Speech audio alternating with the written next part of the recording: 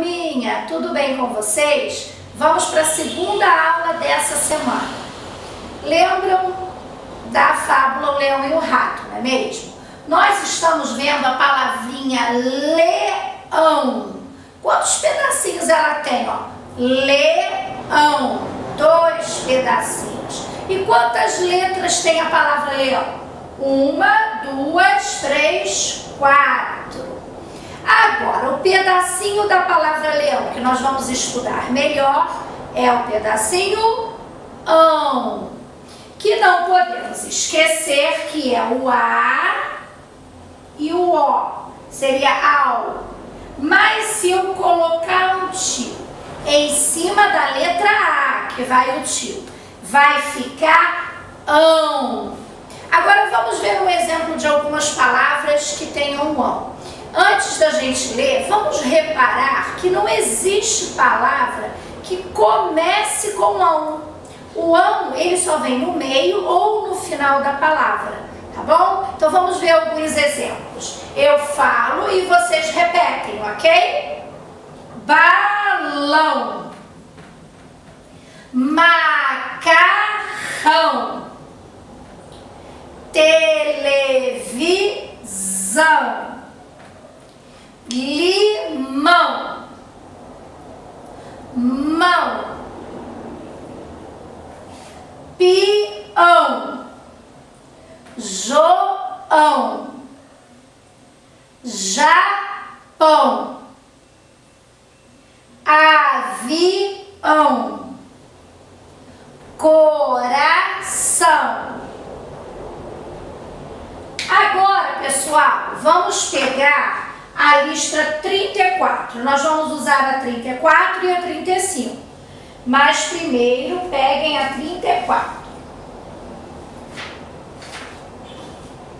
Leia. Um leão foi acordado por um rato que passou correndo sobre seu rosto. Qual é a palavrinha em destaque? Leão. Tem na palavra leão e em todas as outras desse quadro? Vou ler essas daqui. Algumas estão no quadro, outras não, ok? Anão, coração, pão, limão, não, peão, balão, televisão, macarrão, pavão, João. O que, que vocês vão fazer? Vocês vão circular o que tem de igual que é o ão e vão copiar somente o ão de todas essas palavrinhas daqui, ok? Depois, no número 3, leia as frases abaixo. Continue você escrevendo mais uma frase que tenha relação de sentido com essa. Mamãe preparou para o almoço macarrão com feijão. Você vai criar uma frase que tenha sentido com essa, ok? Não esquecendo da letra maiúscula, não esquecendo do ponto final. Depois, o João viu o leão na televisão. Vamos criar uma outra frase que tenha sentido com essa. Capricha, hein? Primeiro ano. Agora, vamos pegar a lista 35.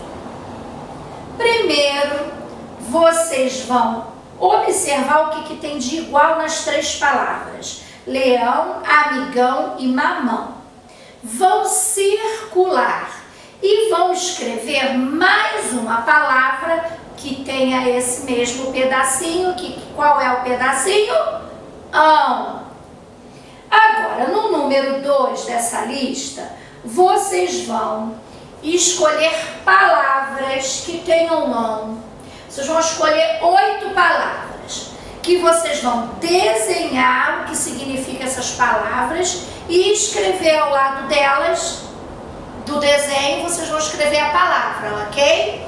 Para a gente treinar bastante o ombro. E por fim, vocês vão escolher palavras que você desenhou aqui e formar frases ligadas pelo sentido, tá bom? Vamos treinar bastante para ficar cada vez mais esperto. Beijo!